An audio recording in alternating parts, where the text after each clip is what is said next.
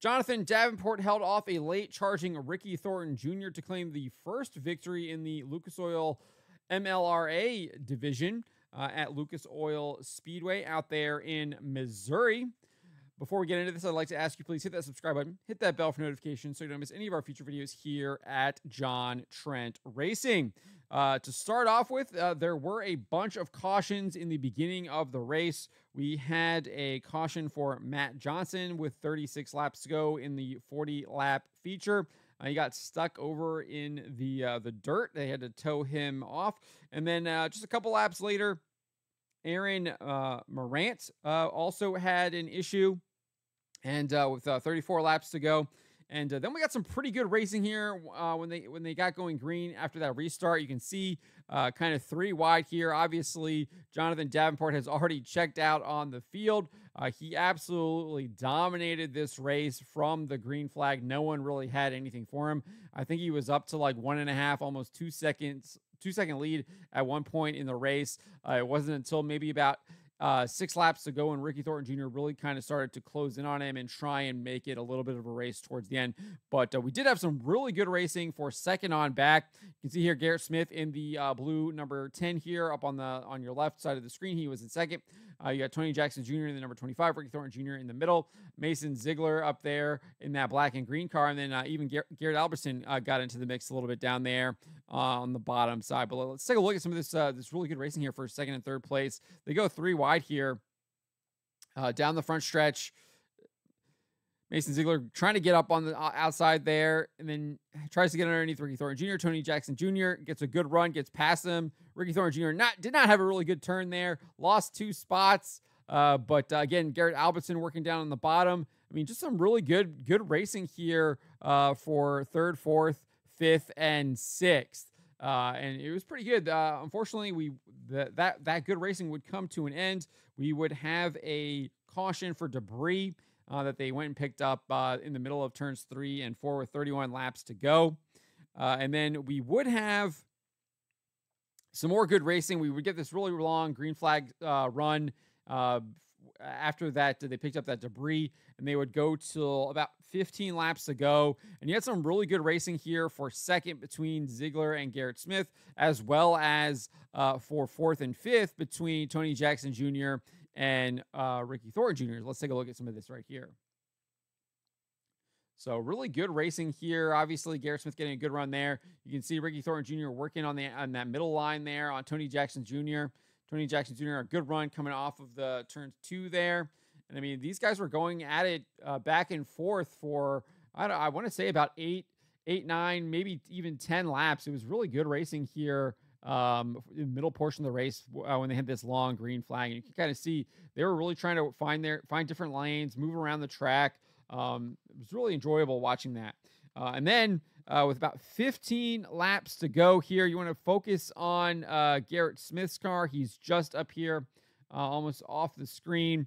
And uh, he was in second at the time, and he just loses it and hits the outside wall coming off of turn four and just uh, ruins his night. Let's take a look. So you see Ricky Thornton Jr. is making a charge here already, and then bang, he just clips clips the outside wall there. Um, and and just smacks it really hard.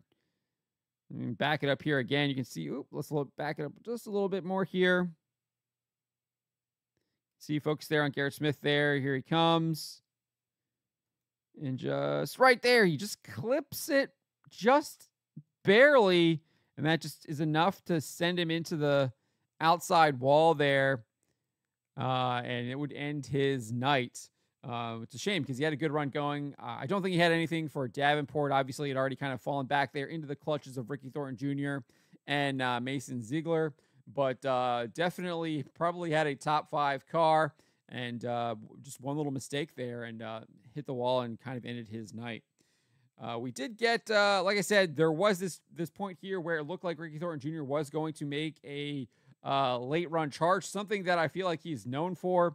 Uh, he did that a lot last year. Uh, he would kind of really come in to to his own in the last closing laps, and he kind of did that here. Uh, just didn't wasn't able to uh, finish Jonathan Davenport off. Davenport had a very very stout car, but uh, let's take a look here at Ricky Thornton Jr. trying to close in on uh, Jonathan Davenport. Davenport got got stuck behind. Um, I think this is McCowan here in the eight car right in front of him. Got stuck behind him for about a lap, and uh, Ricky Thornton Jr. was able to make quick work of him. So he thought, oh, maybe he's going to do it, but uh, Davenport was able to hold him off. So here we go. We can see this kind of five laps to go. Davenport gets a really good run, slides right up in front of McCowan. And then Ricky Thornton Jr. kind of lines him up here coming down the front stretch and drives right underneath him in um, turns one and two. And uh, looks like he would might be able to close on Davenport. But uh, like I said, Davenport kind of really uh, held him off here. And we're working around the lap traffic here and uh, c- come home to claim the victory. You can see him right there celebrating in victory lane. So pretty solid race. Um, if, especially if you're looking past first place. I mean, obviously Davenport led uh, from the green flag to the checkered flag um, and dominated the race, but there was some really good racing that did happen throughout the uh, pack. As far as the running order, this is over at myracepass.com. Davenport obviously came home uh, with the checkered flag.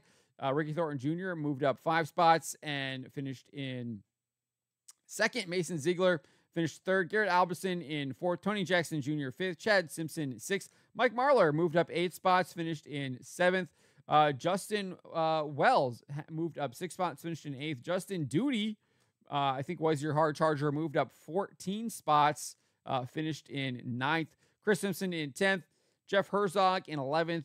Trevor Gundaker in 12th, moved up 10 spots. Uh, Logan Marin, or Martin, excuse me, uh, finished in 13th. Cole Wells in 14th. Dustin Hodges in 15th. Dylan McCowan uh, in 16th. Um, they're saying he did not finish. I guess he uh, must have dropped out there after he got lapped by um, Davenport and uh, Ricky Thornton Jr.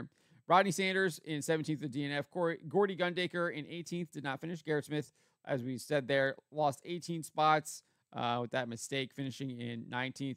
Mason Oberkramer finished in 20th. Uh, Brennan uh, Willard in 21st. Aaron Morant, as I said, had that issue very early on uh, in 22nd. Tyler Stevens finished in 23rd. Uh, Dusty Leonard in 24th. And then Matt Johnson was that first caution uh, with 36 laps to go, finished in 25th. So that is how they finished uh, for the first race in the Lucas Oil MLRA uh, series at the Lucas Oil Speedway. So, congratulations to Jonathan Davenport. Absolutely dominated the field. Uh, he is known to dominate at that track, and uh, he did not disappoint. Uh, and we got that really good race with uh, with Ricky Thornton Jr. at the end, um, closing in, made it really exciting. Kind of put you on the edge of your seat. You're going to see what was going to happen if, if Davenport was going to be able to hold him off. Ricky Thornton Jr. was going to be able to challenge him, and uh, really kind of got you on your toes there. So, great race. Uh, looking forward to seeing these guys compete again uh, into in the future. But let me know what you guys made of this race. Let me know in the comments below.